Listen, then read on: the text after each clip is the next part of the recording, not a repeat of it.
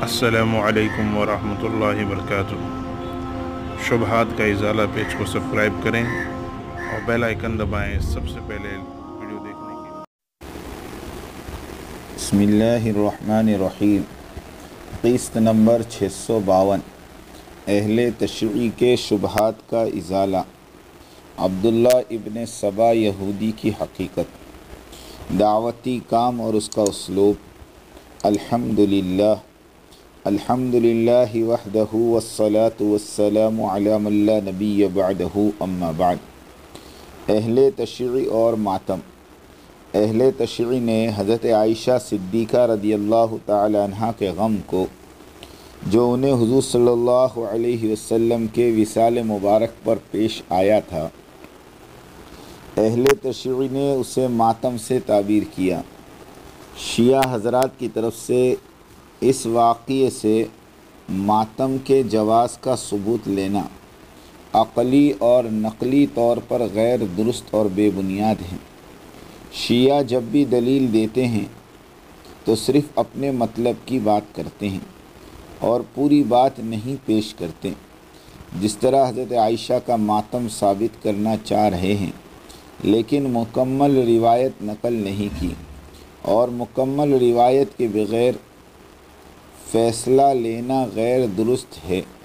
اصلی روایت ملاحظہ فرمائیں۔ حضرت عائشہ رضی اللہ تعالیٰ عنہ سے مروی ہے کہ نبی صلی اللہ علیہ وسلم کا وصال میری گردن اور سینے کے درمیان اور میری باری کے دن میں ہوا تھا۔ اس میں میں نے کسی پر کوئی ظلم نہیں کیا تھا، لیکن یہ میری بے وقوفی اور نوعمری تھی۔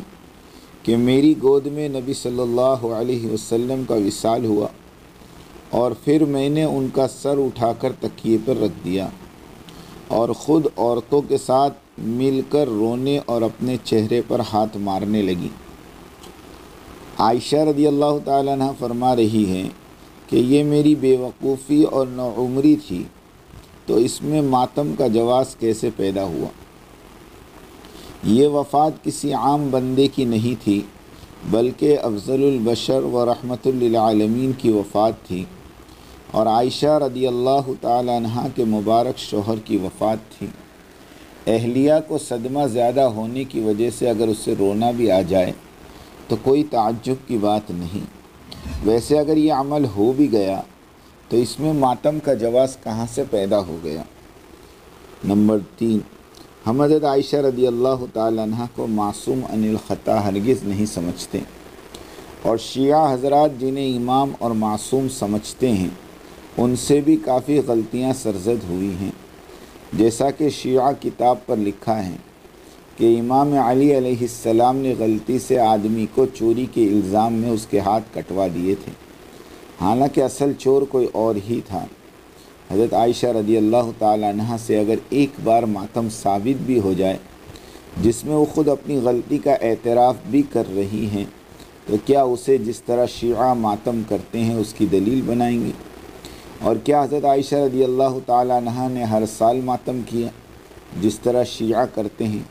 اگر شیعہ سمجھتے ہیں کہ ماتم کرنا محبت کی نشانی ہے، تو نبی صلی اللہ علیہ وسلم کے وصال مبارک پر حضرت علی، فاطمہ، حسن اور حسین رضی اللہ تعالیٰ عنہ نے ماتم کیوں نہیں کیا؟ کیوں سینہ نہیں پیٹا؟ کیوں تلوار سے ماتم نہیں کیا؟ کیوں کمی زنی نہیں کی؟ کیا ان اہل بیت حضرات کو نبی سے محبت نہیں تھی؟ کیا شیعہ حضرات نبی صلی اللہ علیہ وسلم کی وفات پر ہر سال ماتم کرتے ہیں؟ کیونکہ ماتم تو شیعہ کے نزدیک عبادت ہے۔ اور بعض کے نزدیک تو اصل نماز ہی ماتم ہے۔ ہم شیعہ حضرات کو دعوت دیتے ہیں کہ اصل دین جو قرآن اور حدیث اور سیرت طیبہ میں پیش کیا گیا ہے، اسے مانیں اور اس پر عمل کریں۔ اللہ عز و جل سے ڈریں اور جب بھی بات کریں تو مکمل کیا کریں۔ صرف اپنے مطلب کی بات کاٹ چھاٹ کر مسلمانوں کو گمراہ نہ کریں۔ اللہ تعالی ہم سب کو حق پر چلنے کی توفیق عطا فرمائیں اور ہمیں ان صبر کرنے والوں میں سے بنائے جنہیں اللہ تعالیٰ نے قرآن مجید میں بشارت دی ہے اور ہم کسی نہ کسی طرح تمہاری آزمائش ضرور کریں گے۔ دشمن کے ڈر سے، بھوک پیاس سے، مال اور جان اور پھلوں کی کمی سے۔ اور ان صبر کرنے والوں کو خوشخبری ہے۔ جنہیں جب کبھی کوئی مصیبت آتی ہے تو کہہ دیا کرتے ہیں۔ کہ ہم تو خود اللہ تعالیٰ کی ملکیت ہیں اور ہم اسی کی طرف لوٹنے والے ہیں۔ عبداللہ ابن صبا اور شیعہ۔ عبداللہ ابن صبا ساتویں صدی عیسوی کی اسلامی تاریخ کا ایک کردار ہے۔ عبداللہ ابن صبا پہلے یہودی تھے، بعد میں بظاہر مسلمان ہو گیا۔ اس نے دوسرے منافقین کے ساتھ مل کر نو مسلموں کو فریب دے کر اسلام کے مٹانے اور مسلمانوں میں خاندانی امتیاز اور نسلی عصبیت کو وجود بخشنے کی مضمون کوششیں شروع کی۔ تعلیم اسلامیہ اور مقاصد ایمانیہ کے خلاف خون کے رشتوں والی تحریک چلائی۔ چونکہ عبداللہ ابن صبا خود یہودی تھا اور یہودی نبیوں کی نسل تھے، ابن صبا نے اپنے پیروکاروں کو اس بات پر ابھارا کہ اصل مسلمان اور خلافت کے جانشین تو اہل بیت ہی ہیں۔ اس لیے کہ یہ نبی کریم صلی اللہ علیہ وسلم کے اصلی جانشین اور ان کا خون ہے۔ یہیں سے شیعہ فرقے کی ابتدا ہو گئی اور یہ ذہنیت وجود میں آئی کہ جس طرح یہود نبیوں کی اولاد ہے، اس طرح اہل بیت بھی نبی کی اولاد اور ان کا خون ہے۔ اسی فاسد عقیدے کی بنیاد پر صحابہ کرام جو نبی صلی اللہ علیہ وسلم کے خونی رشتہ دار نہیں تھے، ان پر تبرہ شروع کر دیا گیا۔ اس فاسد تحریک کو لے کر عبداللہ ابن صبا نے مدینہ، بصرہ، کوفہ، دمشق اور قاہرہ کے تمام مرکزی شہروں میں تھوڑے تھوڑے دنوں قیام کیا اور لوگوں کا ذہن خراب کیا۔ اور حضرت عثمان غنی رضی اللہ عنہ کے خلاف نہایت چالاکی اور ہوشیاری اور شرارت سے یہ بات چلائی کہ علی مرتضی رضی اللہ تعالیٰ عنہ ہی حقدار خلافت ہے۔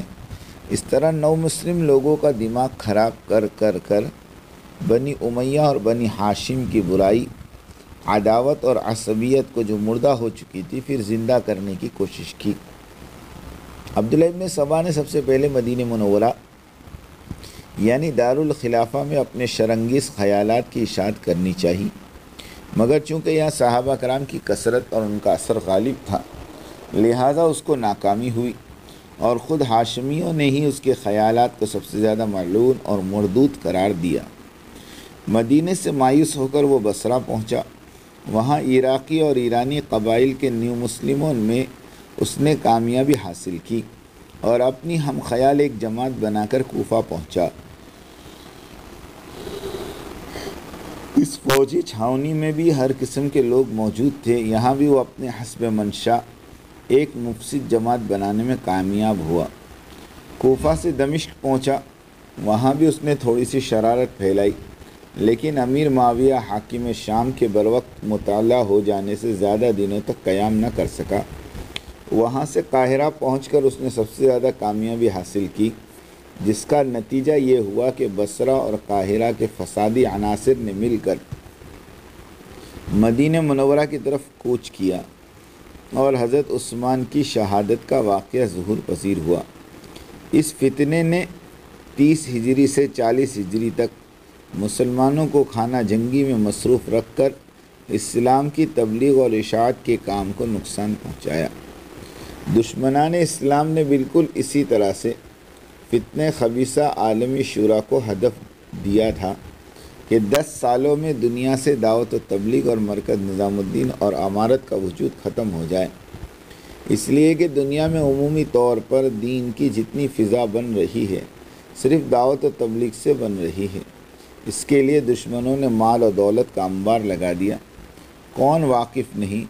مولانا ابراہیم صاحب دیولا اور مولانا اسماعیل گودھرا وغیرہ سے کہ انہوں نے دہلی سے سورت تک ٹرین کا کرایہ کرایہ جمع کرنا بھی مشکل ہوتا تھا۔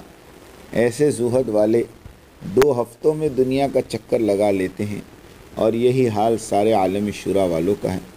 اس طرح سے کروڑوں روپیوں کا خرچ کر ڈالنا کیا کوئی شورائی کی ہمت ہے کہ اس سوال کا جواب دیں گنتی کے لوگ رہ گئے ہیں شرائیت کے۔ ساری دنیا میں پچاس جماعتیں بھی شرائیت کی چلتی پھرتی نہیں ملے گی۔ سارے انگلینڈ میں ماہانہ تین دن کی دس جماعتیں بھی ان سے نکل نہیں پاتی۔ یہ حال دنیا کے تمام ملکوں کا ہے۔ یہ کوئی افسانہ نہیں بلکہ حقیقت ہے کہ فتنہ خبیصہ عالمی شورا جس پاور اور طاقت کے ساتھ اٹھا تھا اسے دیکھ کر یہی نظر آتا تھا کہ چند دنوں میں سب کچھ ختم ہو جائے گا، لیکن ایک اکیلے اللہ نے اس خطرناک فتنے کو اپنی قدرت کاملہ سے نیم مردہ بنا کر چھوڑ دیا۔ مولانا ابراہیم صاحب دیولہ دامت برکاتوم کے ابتدائی بیانات پر نظر ڈالیے تو پتہ چلے تاکہ کسی طرح کا تشدد اور نفرت ان کے دل میں مرکز نظام الدین کے بارے میں تھا۔ فرماتے تھے کہ مراکز بنتے اور اجڑتے رہے ہیں۔ مرکز اصل نہیں، کام اصل ہے۔ مرکز نظام الدین ایک درگاہ ہے۔ الیاسی گھرانے والے اس کے مجاور ہیں، وغیرہ وغیرہ۔ کیا کوئی اعتدال پسند بزرگ کی زبان سے اس طرح کے انقلابی کلمات نکل سکتے ہیں؟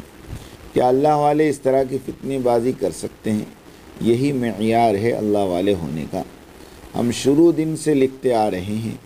کہ دعوتی کام اور اس کے مرکز نظام الدین کے دوست اور دشمن کو پہچانو۔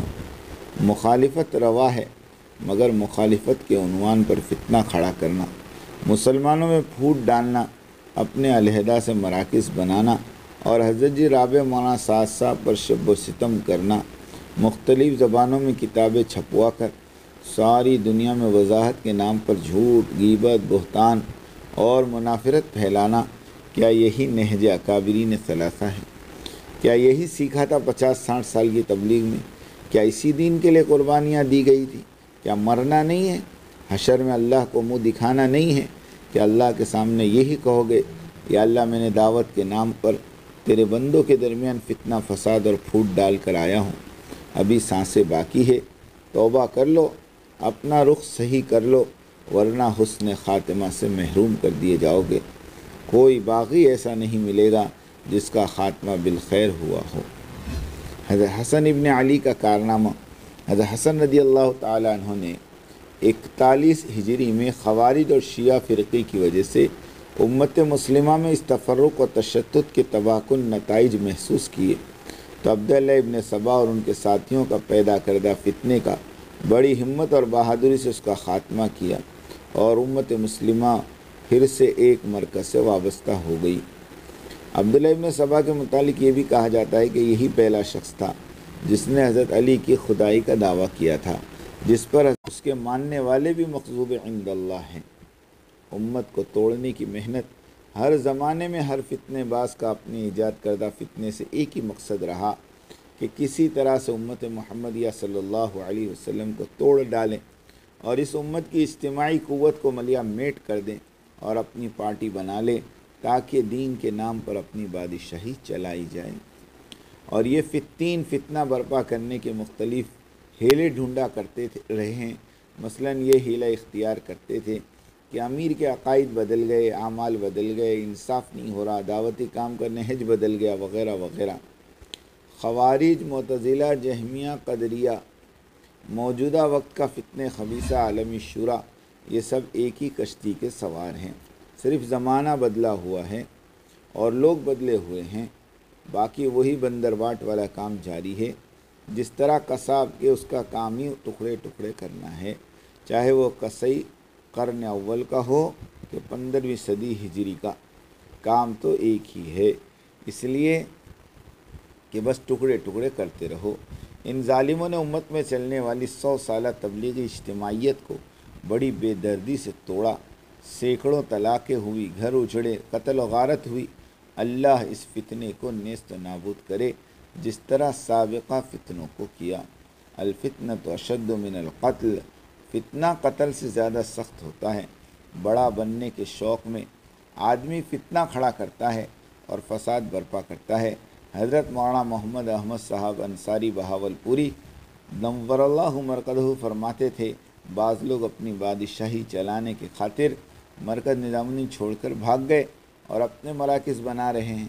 انہیں چاہیے کہ مرکز نظام الدین لوٹ جائیں، ورنہ اس میں حسن خاتمہ سے محروم ہو جانے کا امت کو توڑنے کی محنت، ہر زمانے میں ہر فتنے باز کا اپنی ایجاد کردہ فتنے سے ایک ہی مقصد رہا کہ کسی طرح سے امت محمدیہ صلی اللہ علیہ وسلم کو توڑ ڈالیں اور اس امت کی اجتماعی قوت کو ملیا میٹ کر دیں۔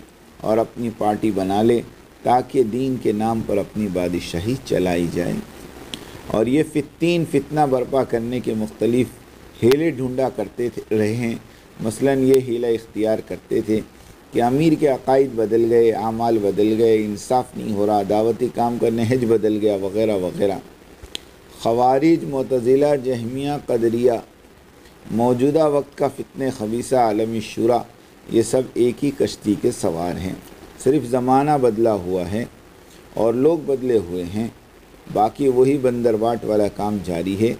جس طرح قصاب کے اس کا کام ہی ٹکڑے ٹکڑے کرنا ہے، چاہے وہ قصی قرن اول کا ہو کہ پندرہویں صدی ہجری کا۔ کام تو ایک ہی ہے۔ اس لیے کہ بس ٹکڑے ٹکڑے کرتے رہو۔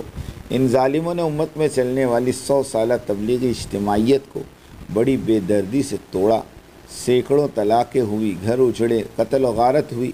اللہ اس فتنے کو نیست و نابود کرے، جس طرح سابقہ فتنوں کو کیا۔ الفتنہ تو اشد من القتل۔ فتنہ قتل سے زیادہ سخت ہوتا ہے۔ بڑا بننے کے شوق میں آدمی فتنہ کھڑا کرتا ہے اور فساد برپا کرتا ہے۔ حضرت مولانا محمد احمد صاحب انصاری بہاول پوری نور اللہ مرکز فرماتے تھے بعض لوگ اپنی بادشاہی چلانے کے خاطر مرکز نظام الدین چھوڑ کر بھاگ گئے اور اپنے مراکز بنا رہے ہیں۔ انہیں چاہیے کہ مرکز نظام الدین لوٹ جائیں، ورنہ اس میں حسن خاتمہ سے محروم ہو جانے کا اندیشہ ہے۔ ہم تو کہتے ہیں کہ یہ لوگ نہ بھاگے ہیں، نہ نکلے ہیں، بلکہ اللہ تعالیٰ نے انہیں اپنی قدرت سے باہر نکال پھینکا ہے۔